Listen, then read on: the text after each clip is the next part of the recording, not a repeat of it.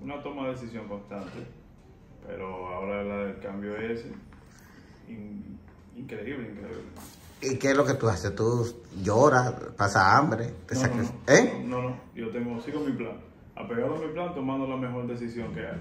De lo que hay, lo mejor que yo puedo elegir, eso tomo, sin ponerme loco. Exactamente. Y supervisado siempre. Exacto. Porque hay que tener constante con el terapeuta. Tú sabes que el control de peso es una es una adicción. Eh, o sea, el control es, es el manejo de una adicción. Y una adicción, eh, uno se adapta a su estilo de vida y a su comodidad. ¿Tú ves? Hay gente que se levantan y no desayunan porque no preparan, no pueden, no tienen tiempo, según ellos. Porque de- entonces vienen a desayunar a las 10 y media de la mañana y ahí engordan muchísimo. Llega a las 12.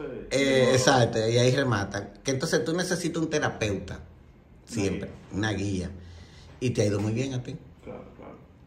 Eh, El resultado es evidente. Exacto, ese resultado habla.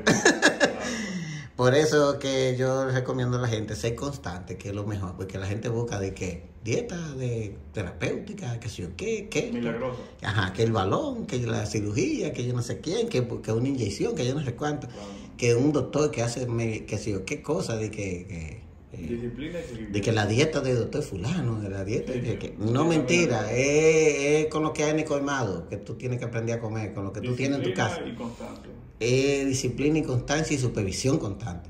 Porque como yo te dije a ti, un vicio no sale solo tú. No, no. Es con un terapeuta jodiéndote la vida ahí. Con ayuda. Eh, eh, ayuda. Fantástico, muy buen testimonio. Es tuyo. Felicidades. Gracias.